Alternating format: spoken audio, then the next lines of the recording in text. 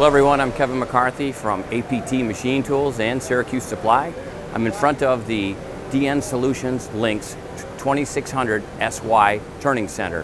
What we feature on the Lynx 2600 SY machine is a 3.1H spindle bore with 25 horsepower. And on the rear side, we have a 10 horsepower sub spindle that's available for any kind of back working turning.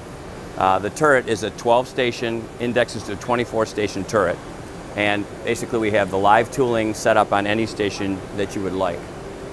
On the control, we have the Fanuc Zero I Plus control, 15 inch CRT screen with the QWERTY keyboard as usual. That's standard today on the, on the uh, DN Solutions machine tool.